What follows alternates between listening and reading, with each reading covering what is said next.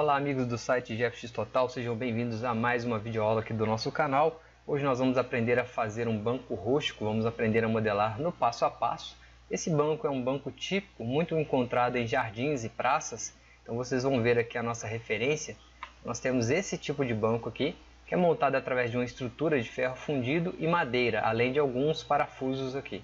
Então esse banco, nós temos aqui um modelo relativamente complexo, vocês vão notar aqui que essa parte que forma esse cavalinho, essa estrutura do banco, ela é bem complexa, porém nós vamos fazer aqui a modelagem do passo a passo. Outro detalhe que vocês vão perceber aqui também é que esse tipo de modelagem, em alguns, algumas partes aqui ela é plana, em outras partes ela tem algumas concavidades, ela tem aqui algumas deformações. Então isso nós vamos ver no decorrer da nossa videoaula. E antes de mais nada, eu vou pedir para você que ainda não é inscrito, inscreva-se no nosso canal e deixe aquele likezinho aí no vídeo aí para poder contribuir. Também não se esqueça, se você tiver alguma dúvida, deixe nos comentários que nós vamos responder na medida do possível, certo? Então vamos lá. Vamos voltar a atenção aqui ao nosso estudo. A primeira coisa que eu preciso fazer é configurar as minhas referências. A referência que eu tenho é essa, porém nós podemos criar aqui uma referência diferente. Vamos aqui no Photoshop, vocês vão ver que essa referência aqui está mais limpa. Isso porque eu tirei tanto a topologia quanto a parte das ripas e aquele pontinho azul que seria o ponto central das ripas, onde nós vamos girar os objetos. Vocês vão notar aqui que temos a, a madeira e as ripas nós tiramos e essa linha também aqui seria a divisão, onde vai vir encaixado aqui os parafusos. Então tudo isso aqui é para poder facilitar um pouquinho a modelagem do nosso objeto. Vamos salvar essa imagem aqui como JPEG. Então vou substituir a imagem que está lá na nossa pasta. Vamos lá no 3ds Max agora, criamos o nosso plane na vista front, vou criar um plane aqui sem divisões, colocar aqui em um segmento somente e vamos arrastar a nossa referência para cima desse plane. Agora eu vou adotar um método de modelagem através de alguns objetos primitivos. Então vocês vão notar aqui, por exemplo, na vista front, vou apertar o botão F3, botão G e vou maximizar a nossa tela para poder ver melhor. Tirar essa marcação aqui também da extremidade, botão J, e aqui vocês vão ver que a nossa referência está perfeitamente adicionada a esse plane. Agora eu tenho que decidir por onde eu vou começar. Eu vou começar aqui pelo ponto central, onde nós temos essa divisão aqui. Para melhorar um pouquinho a resolução aqui dessa imagem, vocês podem habilitar aqui em Standard, colocar a opção High Quality, ou simplesmente alterar as configurações da sua placa. Você pode vir aqui em Customize, Preferences, e vai ter lá a última opção, a opção de placa de vídeo. Vocês podem alterar lá a configuração gráfica. Em algumas placas não tem como alterar essa configuração, em outras já é possível. Não vou entrar muito nesse assunto agora, que não é o nosso foco, mas nós vamos aprender aqui especialmente a modelar esse objeto. Então vamos lá. Para a gente poder começar, eu vou começar aqui através de um tube. Então, vamos criar aqui um, um objeto tubo, um objeto primitivo. E vocês vão ver aqui que o tubo ele foi criado perfeitamente aqui na perspectiva. Esse tubo, vou apertar aqui o botão J botão F4 e vou tirar aqui o wire dele. Vamos tirar aqui os segmentos do, da altura e agora ele está liso.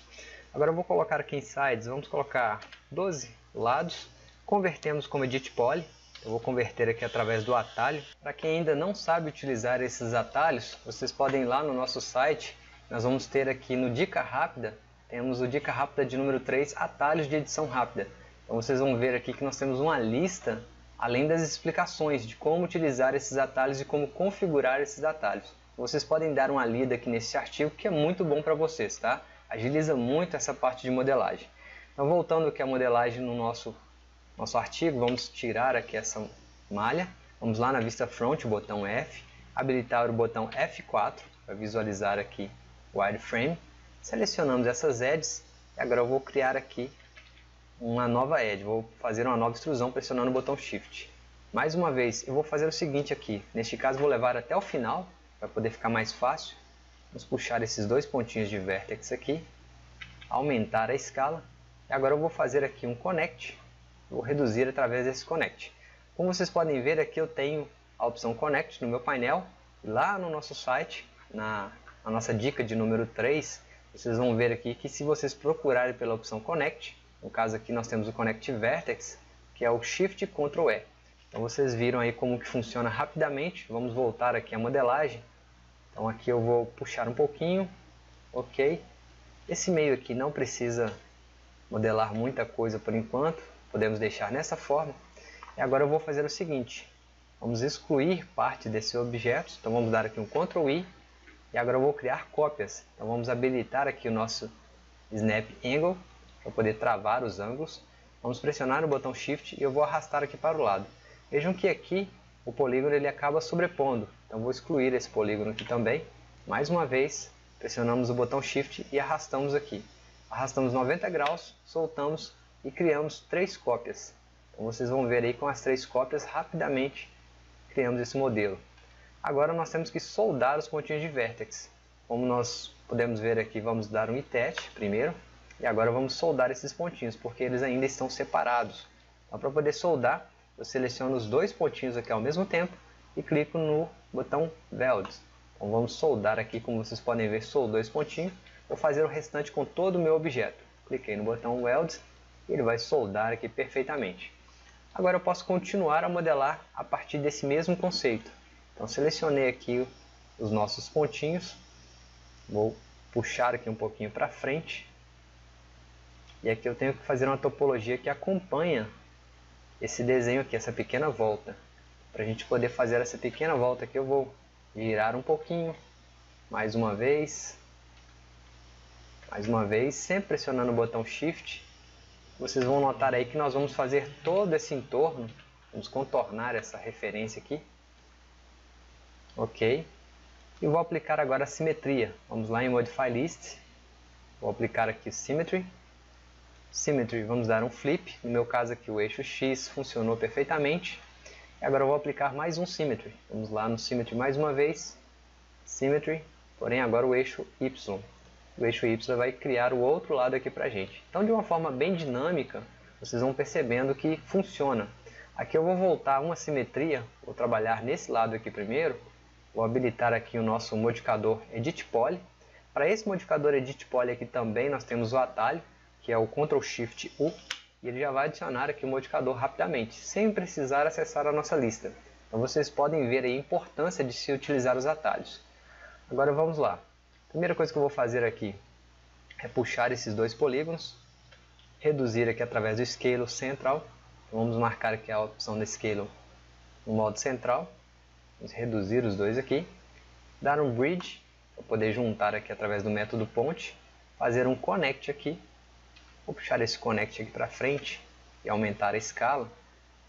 E um detalhe importante aqui que eu quero que vocês percebam bem é que o nosso modelo, a nossa topologia, ela vai ficando 100% quad. E isso é muito bom, tá? Para qualquer tipo de modelagem, se você trabalhar 100% quad, você tem aí um ganho na animação, se você for fazer o rigging, se você for fazer mapeamento, também fica mais fácil. Então, quando você trabalha com modelos quad, isso adianta muito. Então nós fizemos essa parte aqui, agora eu vou habilitar a simetria e vejo que a simetria ela já copia aqui para o outro lado. Outro detalhe importante também, vocês vão notar que a nossa referência ela não bate exatamente com o modelo. Porém, essa referência aqui, eu desenhei ela com uma vista aproximada lá da nossa imagem. Então não quer dizer que ela está 100% correta, ela não é uma fotografia, ela não é uma impressão. Ela é simplesmente uma dedução através ali de alguns ângulos, de algumas edições que eu fiz no Photoshop. Se vocês quiserem aprender um pouquinho sobre isso, logo mais eu vou postar para vocês também um artigo especialmente falando sobre como criar referências. Mas aqui nesse caso, a gente já tem aqui uma boa modelagem. Como vocês viram, foi bem rápido fazer essa parte central aqui. Agora eu vou converter esse objeto como Edit Poly. Então vamos lá em Ctrl Shift Y para poder converter. E agora é só continuar a modelar aqui sobre o que nós já temos. Então sempre acompanhando a topologia, essa parte aqui da curva, vocês vão ver que aqui eu vou acompanhar a topologia e aqui eu vou fazer o mesmo procedimento. Selecionei aqui os dois pontinhos de vértex aumentei com a escala. E um detalhe, outro detalhe importante aqui é que o nosso modelo ele sempre vai ficar aqui plano. Como vocês podem ver, nós temos sempre esse plano. Mais à frente, nós vamos formar a estrutura. Então, inicialmente, não precisamos nos preocupar com isso. Tá? Por enquanto, é só modelar mesmo, cobrindo a nossa referência. Botão F mais uma vez, para a gente poder agilizar essa modelagem vista front. Vamos puxar aqui pressionando o Shift Vamos reposicionar os pontinhos e puxo mais uma vez pressionando o Shift. Ok. Próximo passo agora é só alongar esse objeto através da topologia, o que seria aqui selecionar essas edges e puxando elas aqui conforme o nosso modelo. Então, o exemplo que eu dou para vocês aqui, que utiliza bastante essa modelagem, é fazer justamente isso aqui. Você cria o início, o fim e depois o meio. Então, fica mais ou menos nesse formato aqui que vocês podem ver. Outra coisa também que ajuda muito é o modo See-Through. O modo See-Through é um modo que deixa o nosso objeto semi-transparente. Como vocês podem ver aí, desabilitar as sombras. E agora sim, deixa o objeto semi-transparente como vocês podem ver. Voltamos para a vista front e eu posso habilitar aqui visualizando o que está atrás do meu objeto. Aqui eu vou sair do modo, vamos colocar como estandarte, para poder ficar mais leve aqui para o carregamento, já que eu não preciso visualizar a resolução total da minha referência. E aqui é só continuar a modelar. Então vou meio que acelerar o vídeo, já que vocês viram perfeitamente aí como que funciona essa parte. Eu acho que não, não vai ficar muita dúvida. E caso fique alguma dúvida, vocês podem colocar aí nos comentários que eu vou responder com todo prazer. Então vamos lá. Continuando a modelar aqui, vou acelerar o vídeo aí para vocês verem como que vai funcionar aqui essa parte da modelagem.